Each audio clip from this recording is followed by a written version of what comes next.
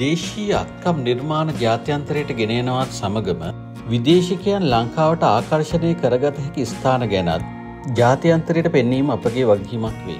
ඉතින් ඕගලන්ට අද අපි පෙන්වන්න යන්නේ බලන කොටුව ගැන. මේක පිහිටලා තියෙන්නේ කඩුගන්නාව නගරයේ ඉඳලා කිලෝමීටර් 7ක් පමණ දුරින්. ඔබ මේ දකින්නේ ප්‍රධාන පාරේ සිට බලන කොටුව දක්වා වැටි ඇති අඩිපාර. මෙම යන මාර්ගය ඉතාම සොබා සෞන්දර්යයෙන් පිරි මාර්ගයක්. ඉතින් මතක තියාගන්න ඕනේ මේක බලන්න යද්දි පරිසරයට කිසිම හානියක් කරන්න නැතුව යන්න. මෙම ස්ථානයේ පිහිටලා තියෙන්නේ අලගල්ල කඳු වැටි.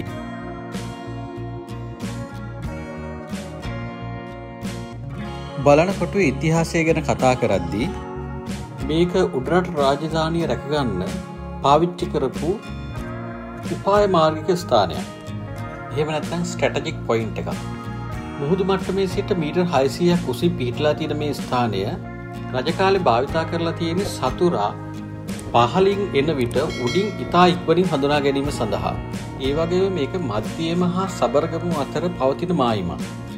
දැඟගොලට පේනව ඇති මේ බලන කොටුවේ ඉතුරු වෙලා තියෙන නටබුන් මොනවද කියලා. ඉතින් අපි උඩට ගිහිල්ලා බලමු මොනවද තියෙන්නේ කියලා. එන්න මගෙත් එක්ක.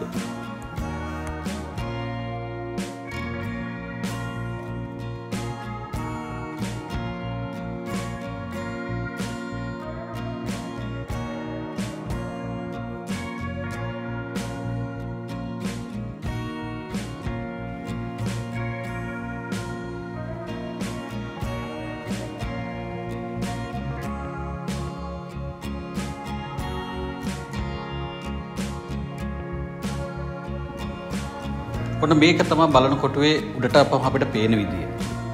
මෙතෙන්ට ආපහම ඉතා සුන්දර පරිසරයක ආශ්වාදය මෙතන ඉඳලා විඳ ගන්න පුළුවන්. ඉතින් අවට තියෙන කදු පන්ති ගැන ඔයගොල්ලන්ට මෙතනදී බලා ගන්න පුළුවන්. මේ ඈතින් ඔයගොල්ලන්ට පේන්නේ බතලේ ගල. ඔයගොල්ලන්ට දැනනවා ඇති මේ ගස් සෙලවෙන විදිහට කොච්චර හුලඟක් මෙතනට හමාගෙන එනවද කියලා. මේක ඇත්තටම ස්වභාවිකව පිටලා තියෙන සුලං කපොල්ලක්.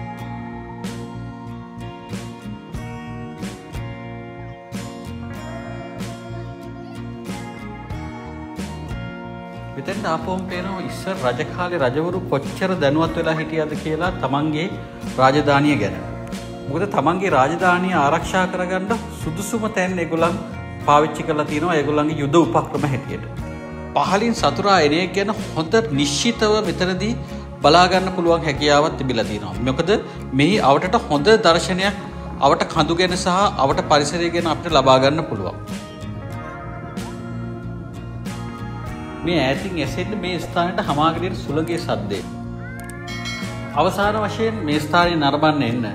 ඇවිල්ලා මේ පරිසරය ආශ්වාදය විදගන්න හැබැයි එක ඉල්ලීමක් කරනවා ඕගොල්ලන්ගේන ප්ලාස්ටික් සහ අනිකත් දිරාපත් නොවන කිසිම දෙයක් මෙතන දාලයන්න එපා තව කෙනෙකුට මේ පරිසරයේ සුන්දරත්වය නැරවීමට ඉඩ තියන්න.